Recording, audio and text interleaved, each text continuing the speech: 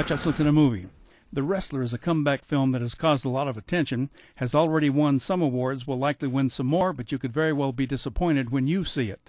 Starring Mickey Rourke as Randy the Ram Robinson, a professional wrestler who was at the top of his profession 20 years ago, the film shows how Randy struggles today with his so called sport, his relationships, and just making enough money to keep up with the lot fees for the trailer he lives in.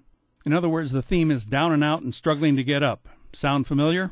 Most of the attention is on Rourke, who gained weight and beefed up for the role that mirrors his own Hollywood career. But Marisa Tomei is also very good as an aging stripper named Cassidy who befriends Randy but isn't willing to become romantically involved with him.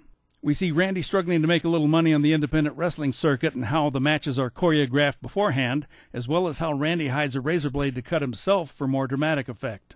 And we see how Randy tries to reconnect with his estranged daughter, Stephanie, played by Evan Rachel Wood, telling her, I'm an old broken down piece of meat and I deserve to be alone. I just don't want you to hate me. So we see a few tender moments with Randy, such as when he plays with the neighborhood kids, a lot of gruesome moments in the wrestling ring, some scenes with Randy working in a supermarket to make some extra money, and some scenes with Cassidy and Stephanie as Randy tries to reconnect with the human race.